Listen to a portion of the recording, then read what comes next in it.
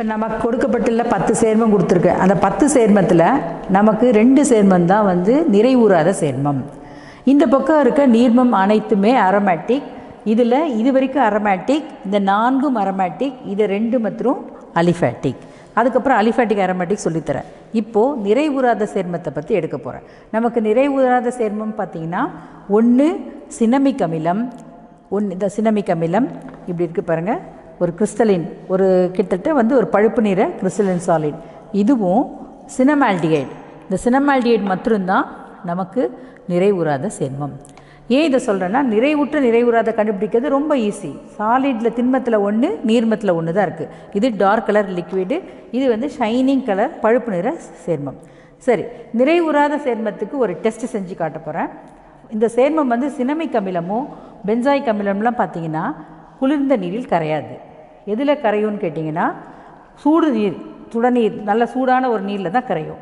So இப்போ நான் முதல்ல அந்த அன்சாச்சுரேஷன் டெஸ்ட் நிறைவுறாத சேர்மத்துக்கான சோதனை செய்ய போகிறேன் பார்த்துக்கோங்க சிறிதளவு சேர்மம் தான் எடுத்திருக்கேன். அந்த சிறிதளவு சேர்மத்தில் நான் இப்போ வந்து ஹாட் வாட்டர் வச்சுருக்கேன். இந்த ஹாட் வாட்டரில் வந்து இதை கரைக்க போகிறேன்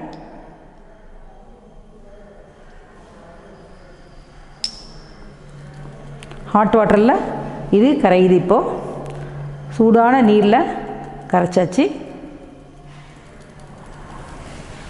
இன்னும் கொஞ்சம் வேணால் ஆட்டு வாட்டர் ஊற்றிக்கலாம் இது சூடான நீர். கரைச்சிட்டேன் கரைக்கப்பட்ட இந்த சூடான நீரில் இப்போ நான் பாருங்கள் காலம் காரம் கலந்த பொட்டாசியம் பர்மேங்கனேட். இதை சேர்க்க போகிறேன் நமக்கு தெரியும். அன்சாச்சுரேஷன்னா இந்த பர்மேங்கனேட்டோட கலர் வந்து மறையணும்.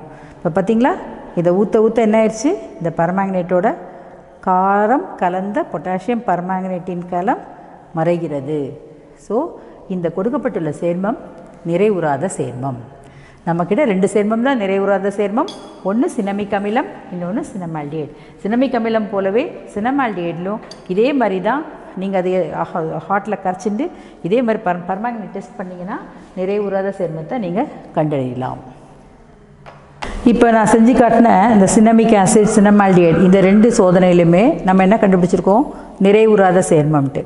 நிறைவுறாத சேர்மத்துக்கு பயன்படுத்தப்பட்ட கரணி வந்து ஆல்கலைன் பொட்டாசியம் பர்மேக்னேட் காரம் கலந்த பொட்டாசியம் பர்மாங்கனேட்.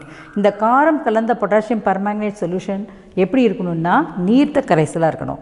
நமக்கு நீங்கள் பொட்டாசியம் பர்மாங்கனேட்டை பார்த்துருப்பீங்க கரு ஊதா கலரில் இருக்குது நான் வந்து டைலூட் பண்ணி அமி காரம் கலந்து இது வச்சுருக்கேன். இந்த மாதிரி டைலூட் சொல்யூஷனில் தான் இந்த அன்சாச்சுரேஷன் டெஸ்ட்டை நம்ம செய்யணும்.